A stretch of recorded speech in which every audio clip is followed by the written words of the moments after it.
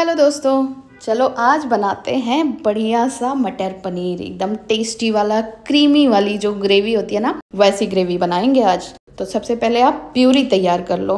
प्याज, टमाटर, लहसुन, मिर्ची, अदरक, इसको दरबरा ग्राइंड कर लो और प्यूरी तैयार कर लो। तो मैंने तो प्यूरी तैयार कर ली है और मैं इसमें फिर लगाऊँगी तड़का। तो तड़का लगाने के लिए देखिए, मैंने आठ से नौ चम्मच इसमें तेल डाल दिया है। ये मैं बना रही हूँ चार लोगों की सब्ज़ी। तो फिर इसमें तेल डाल दिया और मैं अब इसमें सारे खड़े मसाले डाल करके तड़का लगाऊँगी। जब ये मसाले चटक जाएँगे तो फिर मैं इसमें प्यूरी डाल दूँगी और प्यूरी डाल करके थोड़ा सा पानी और एक छोटा चम्मच नमक डाल करके और इसमें मटर पनीर मसाला मैं डालूँगी।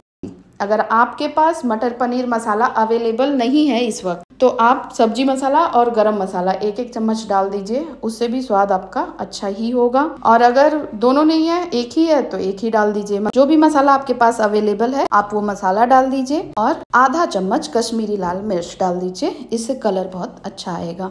तो फिर ये देखिए, मैंने प्यूरी डाल दी है और इसको ढक दूँगी अब पकने के लिए। ये सात से आठ मिनट मीडियम फ्लेम पे मैं इसको अच्छे से पकाऊँगी। तो आप इसको खोल के देख लेना बीच में, चला लेना, क्योंकि ऐसा ना हो कि आपने पानी थोड़ा सा डाला और इसकी वजह से आपका प्यूरी जल गया हो।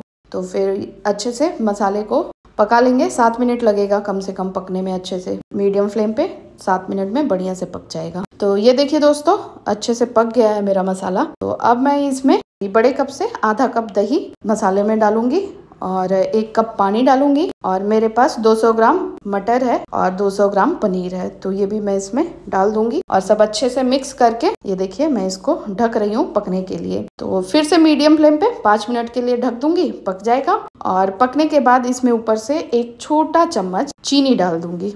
तो दोस्तों, बहुत ही बढ़िया टेक्स्चर आ चुका है। दही के कारण ग्रेवी बहुत ही अच्छी बनी है, टेक्सचर अच्छा आया है।